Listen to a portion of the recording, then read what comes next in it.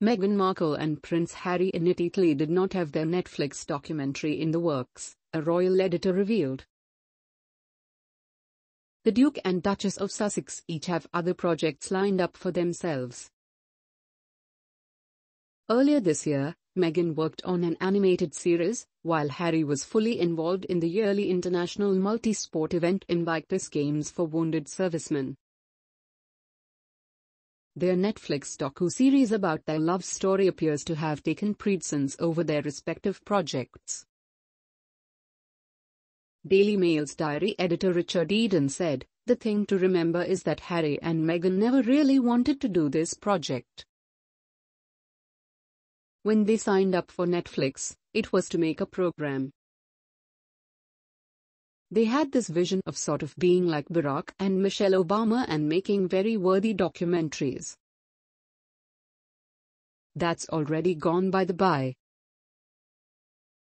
Harry's made a program about his Invictus project for injured servicemen. We don't have a broadcast yet planned for that. And Meghan's big project, which was a children's animated program called Pearl, that's been candled together. However, Prince Harry and Meghan's respective projects appear to have been overshadowed by the upcoming Netflix docu-series. So, the first thing we're seeing is a reality show, a docu-series about them. This has not been made by Archewell. This is very much a Netflix project, Mr. Eden said, insisting the couple have not had a say over the series production. For everyone, you can imagine Harry and Meghan being nervous about the reaction.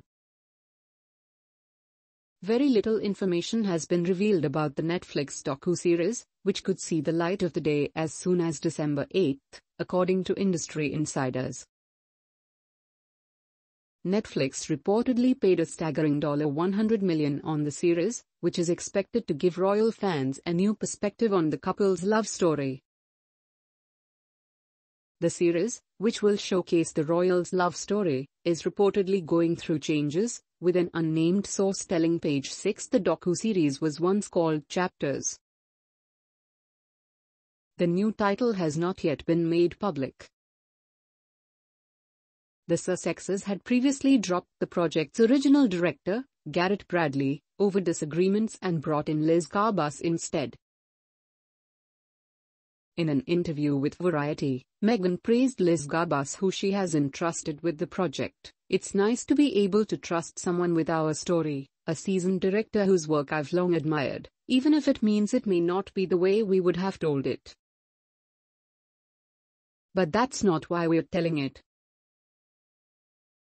We're trusting our story to someone else, and that means it will go through their lens. When the Sussexes set up the Archewell Productions, a portmanteau of Archer, meaning source of action in Greek, and well, a plentiful source of supply, they plan to produce documentaries, feature films, scripted shows and children's programming. As soon as they created their own organization, Netflix partnered with the couple for a shiny new deal with Netflix. In a statement, the Sussexes said, Our focus will be on creating content that informs but also gives hope.